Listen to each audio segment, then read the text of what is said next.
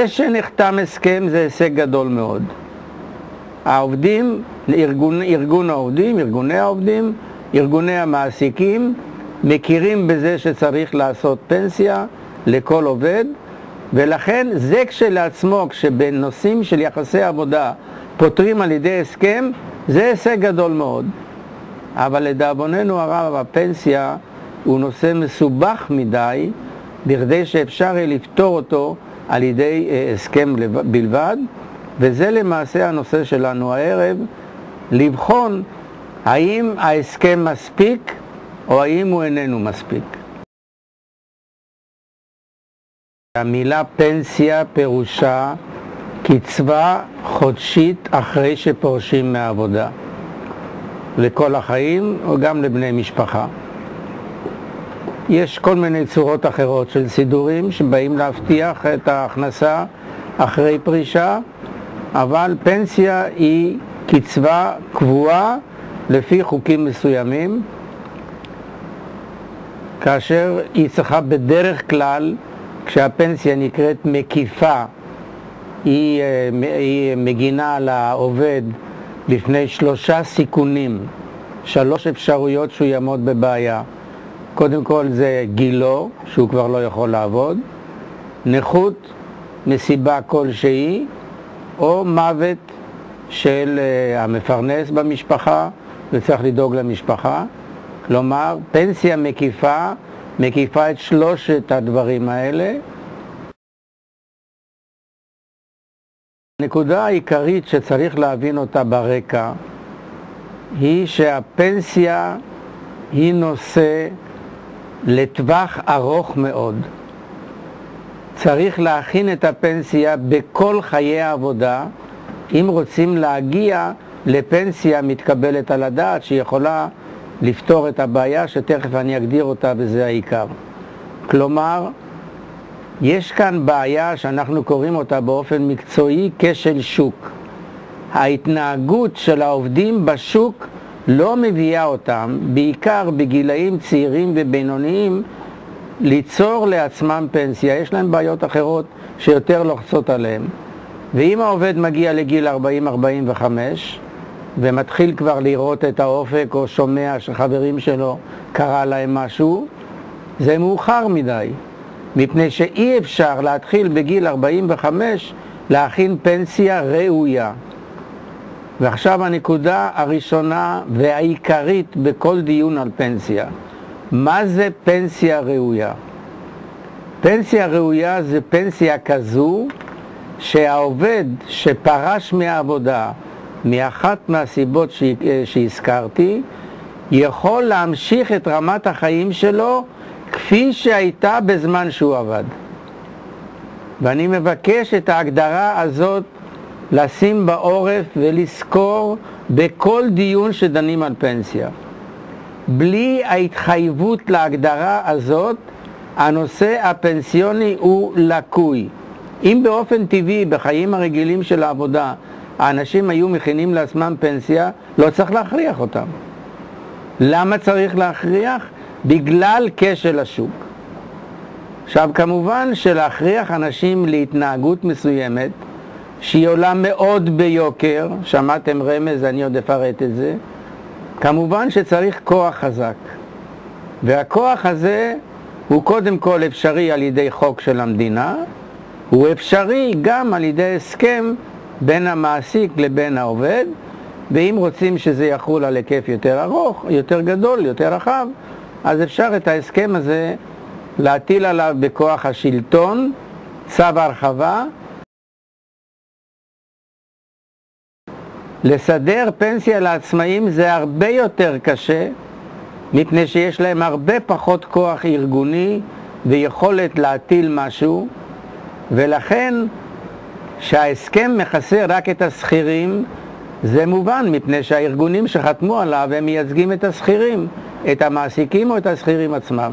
מה עם, העצמאים? יש במדינה הזאת למעלה משלוש מאות אלף עצמאים. ההסכם בין ההסתדרות לממשלה, למעסיקים, מכסה רק את השכירים. יש בדמיון כאילו שהעצמאים זה עורכי דין ועושי כסף. זאתי טעות. רוב המכריע של העצמאים הם אנשים מסכנים. תשימו על יד זה, על יד העורכי דין, את בעלי המכולת השכונתית, או איזשהו מוסכניק קטן. כלומר,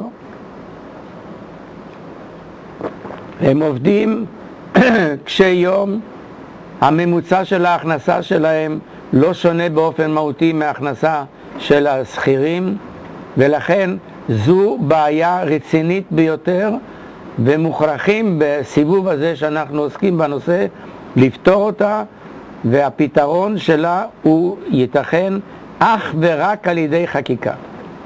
הפנסיה לזר, לזרים לא מסודרת במדינת ישראל. במדינות אה, אירופה העניין מסודר, גם עובד זר מקבל הפרשה פנסיונית, הוא יכול להעביר אותה אם הוא עובר ארץ למקום אחר. בתוך החוק חייב להיות סעיף האומר שגם אדם זר שאנחנו מאפשרים לו לעבוד אצלנו חייב לצבור את הצבירה הפנסיונית לעתידו. כמובן שישנה בעיה על יד זה של עקיפת החוק. אנחנו יודעים שיש כמה וכמה חוקים שנוגעים ליחסי עבודה שהם לא מתבצעים, מפני שבדרכים שונות עוקפים, עוקפים בעין ובקוף את, את החוק. ולכן ישנה בעיה קשה של עקיפה באלף ובכף. עקיפה בסופו של דבר ניתן להשיג על ידי חוק בלבד, וזו סיבה נוספת שדרושה אה, חקיקה. ההסכם, כפי שהוזכר פה, צריך להתבק... להתבצע בהדרגה. זה כשלעצמו דבר נכון, מפני שאם מדובר בסכומים שצריך להפריש לפנסיה, זה קשה מאוד, בעיקר לשכבות יותר נמוכות, גם של השכירים וגם של המעסיקים, לקפוץ ישר למלוא הים. כלומר, הדרגה זה דבר מקובל בכל הארצות שמכניסות פנסיה או שינויים גדולים בפנסיה, ולדבר הזה לא צריך להתנגד אם רוצים שהנושא של הפנסיה ייכנס למסלול אה, בצורה מסודרת. מקובל בעולם, בארצות שהדברים האלה יותר מסודרים והאיגודים המקצועיים יותר חזקים, שבעצם עובד חדש שלושה חודשים ראשונים לא מקבל מהמעסיק הפרשה פנסיונית, אבל ברגע שהוא עובר את השלושה חודשים הוא מקבל למפרע מהיום הראשון. כלומר שבסופו של דבר, לטווח יותר ארוך, הוא מכוסה כל ימי עבודתו בכיסוי פנסיוני. שאין מה לדבר שהתחייה בתשעה חודשים, שהיא פרקטיקה מקובלת, שהיא פרקטיקה מקובלת היום, היא לא מוצדקת, אין שום סיבה לעשות אותה, ולכן למעשה מה שצריך לתבוע, להכניס גם להסכם וגם לחוק, שתהיה תקופת ביניים קצרה של שלושה חודשים, שאחר כך מתכסה למפרע, והעובד למעשה מיום עבודתו הראשון הוא מכוסה אה, לפנסיה. השכר שממנו מפרישים לפנסיה הוא עד השכר הממוצע במשק, היום שבעה וחצי אלף שקל לחודש. מה זה אומר? זה אומר שאם עובד, שוב אני כל הזמן משתמש במושג עובד בכדי לכלול שכיר ועצמאי, יש לו הכנסה או שכר עד השכר הממוצע במשק, הוא יקבל פנסיה מכל השכר או מכל ההכנסה שלו, והמצב הוא בסדר גמור. אבל אם יש לו הכנסה או שכר מעל לשבע וחצי אלף, ואם אין לו כוח ללחוץ על המעסיק, מה שיחייב אותו, את המעסיק, להפריש לפי השכר הממוצע במשק, זה אומר ש-70% מהשכירים יבטחו לפנסיה את כל השכר שלהם. ל-30% מהשכירים או מעצמאים יש שכר או הכנסה יותר גבוהים מ-7.5 אלף, ואז למעשה לא כל השכר או הכנסה שלהם יהיו מכוסים לפנסיה, ואז אני חוזר למשפט הראשון שלי, לא ניתן יהיה להגיע למטרה של פנסיה ראויה. מפני שאם ברגע שהוא יוצא לפנסיה ההכנסה שלו נופלת, הוא לא יוכל לשמור על רמת החיים שלו. זו אחת הנקודות החשובות ביותר בוויכוח שיש לי למשל עם חותמי ההסכם, שהם הסכימו לפעם אחת השכר הממוצע, שזה כמובן אה, לא מספיק. אנחנו מגיעים לנקודה העיקרית שהיא בוויכוח וזה החמישה עשר אחוז. היום המינימום להפרשה לפנסיה, מעסיק ועובד יחד, זה 17.5 אחוז. בכל הארצות המפותחות, כולל בישראל, בגלל התארכות אה, אה, תוחלת החיים, הבריאות וכולו, האחוז של האנשים הקשישים מעל גיל 65 עולה, ולכן ההפרשה לפנסיה חייבת לעלות אם רוצים להשיג פנסיה ראויה. לא יכול להיות שהפנסיה כמספר תהיה בתוך ההסכם או בהגדרה, מפני שיכול להיות שבעוד שלוש שנים או חמש שנים, ולא כל שנה עוסקים בחוק הזה, יצטרכו להגדיל את ההפרשה. ולכן היום 17.5% זה מינימום, 15% זה לא בא בחשבון. מפני ש-15% לא יביא את הצבירה להשגת המטרה. וזה למעשה הכישלון הגדול ביותר של ההסכם. אה, טוען עופר עיני, והיה לי ויכוח ישיר איתו בעניין הזה, שבלי זה אי אפשר היה להשיג כלום. אני אמרתי לו שזה די קרוב לכלום.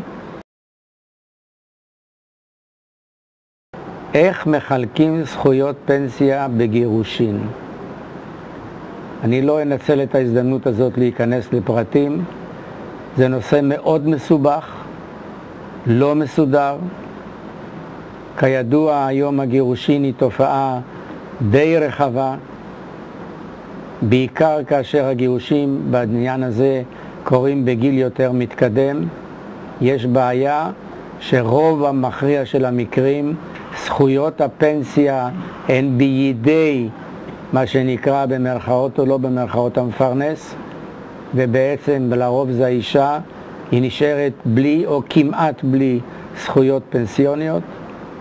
בהליכים החוקיים של היום אי אפשר לפתור את הבעיה הזאת. אחד הדברים החמורים ביותר בפנסיה זה השלטון ללא מצרים של האוצר. זה למעשה לא קיים באף ארץ דבר כזה.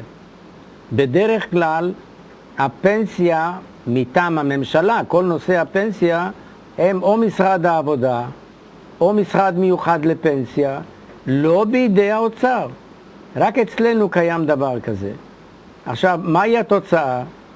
שלמעשה דברים שנראים מאוד מאוד הגיוניים, האוצר לא נותן להעביר אותם.